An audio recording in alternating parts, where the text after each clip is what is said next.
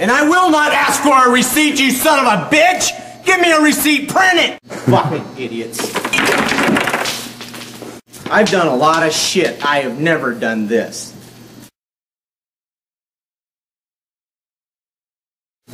I was at Cal Expo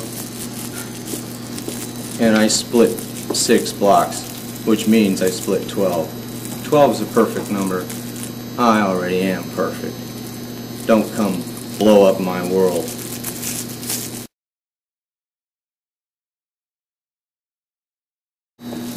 Oh, by the way, I split seven and I went to heaven. I never tell anybody that because I do six for tricks in shows like this when the cameras are on. But at night, at home, with a blindfold on, I can do anything! And I've done it.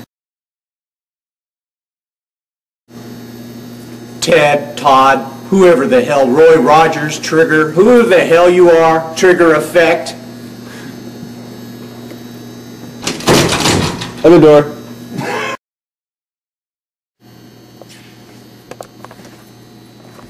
Why is it that Madison Avenue Hollywood Video has a full floor, balls to the wall, floor space, but you're being butt fucked here on Douglas Boulevard with upstairs?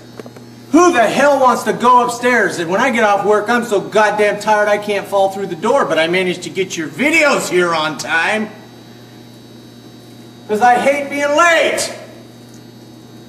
And I don't want to be charged for it, especially when I don't have a receipt for it. That means it wasn't late because there wasn't a receipt. That means I don't owe you anything.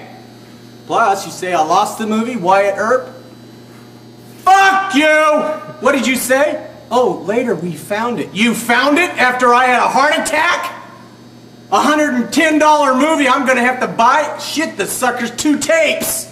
I lost Wyatt Earp. Hell's coming. I'm coming for you! Lost Wyatt Earp. Shit, Kevin Costner. What if he found out about this? Tony lost Wyatt Earp. Fucking fun movie. I enjoyed myself making fucking movies with Wyatt Earp. Maybe we can clean this up and make a kids show out of it.